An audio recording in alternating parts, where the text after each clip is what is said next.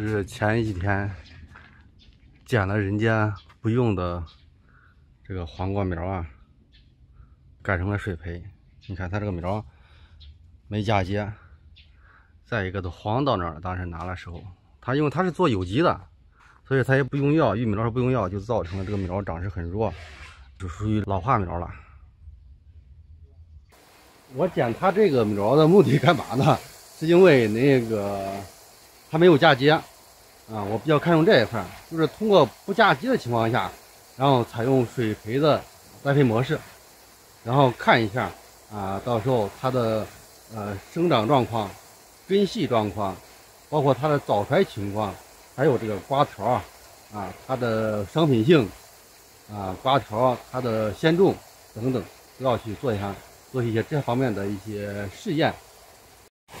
来看一下根系啊，因为栽种有将近一个礼拜了，哟，生根速度还是挺快的啊！你看一个礼拜到一个礼拜栽上去，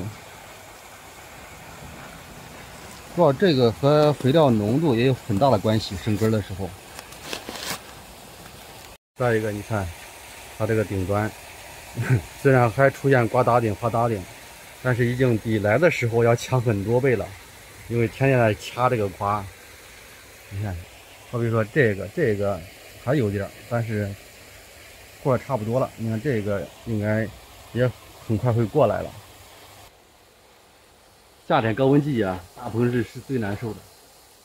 这个黄瓜啊，是实际上是最适合做水培的，无论是菜黄瓜还是这个水果黄瓜。你看栽了不到一个礼拜，根系已经啊开始往外那个发出来了。